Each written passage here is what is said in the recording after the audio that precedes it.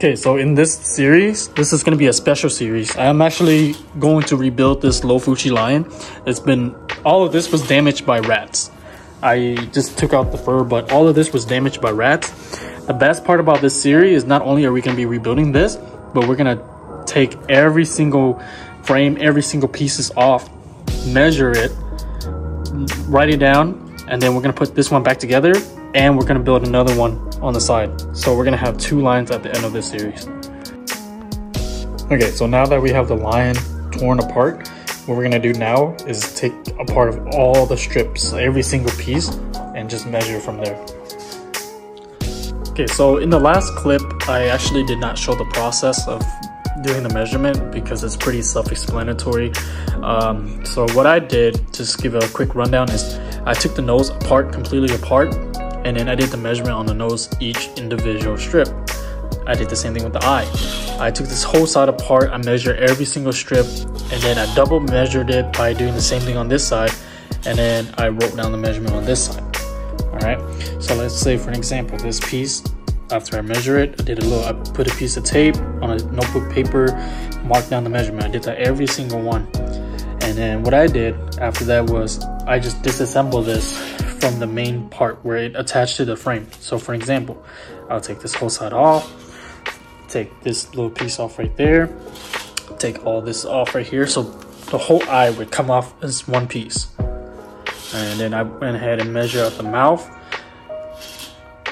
and I did the frame. As you can see, main piece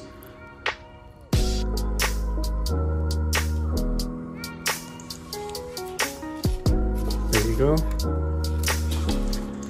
And I actually started building my line already. So this is the model line and this is my line.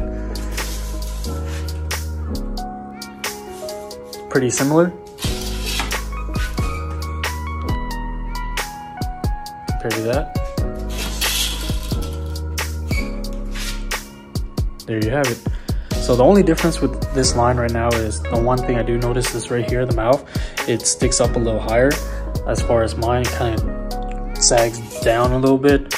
That's fine, you know, it's not 100% match and I'm not really too picky about it. As far as the height wise, I believe it's just slightly higher than the line we're using as reference. Yeah, slightly higher. I think it's maybe about an inch or so higher yeah, when you measure the line, you're not gonna get a 100% accuracy. It's gonna be a couple inches off. So you just gotta accept it. As far as the mouthpiece, I try to get as accurate as I could. Um, I wish that this piece was set a little bit higher, but it's all good. A lot of this is gonna be covered by fur anyways.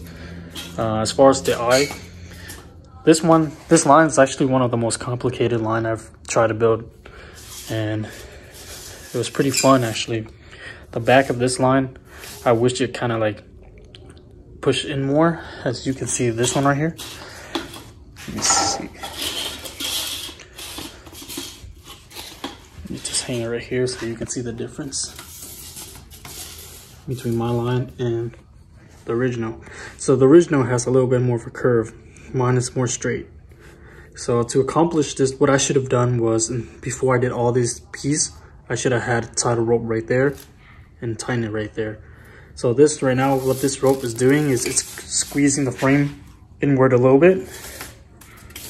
And using these rope right here, just kind of straighten out the mouth.